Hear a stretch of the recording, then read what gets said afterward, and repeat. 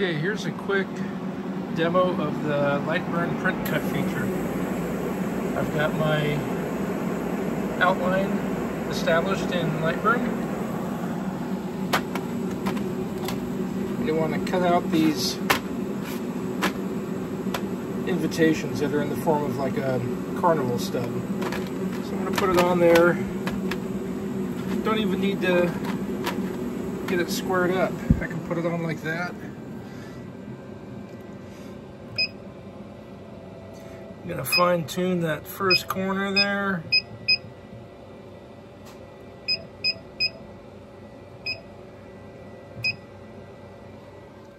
Come up here. Pick my first corner. I'm gonna come down here, pick my second corner, jog to that selection. It's gonna move the head. We'll just fine tune that a little.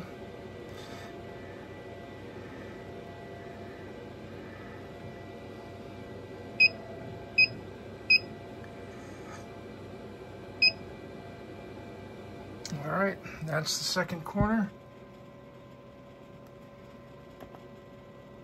And we should be actual size, so I'm gonna try not scaling.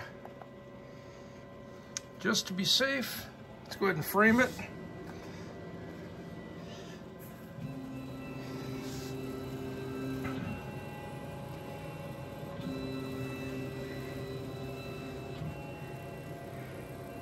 And what it's doing is it's picking up the corners. It's uh, framing as a rectangle because it's uh, it's at an angle there.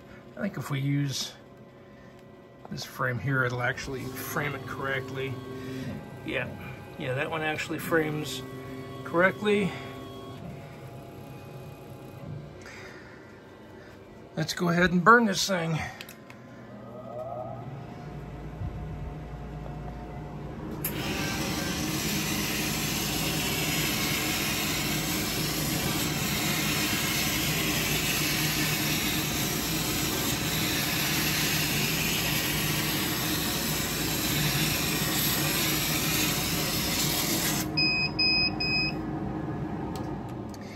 Just like that.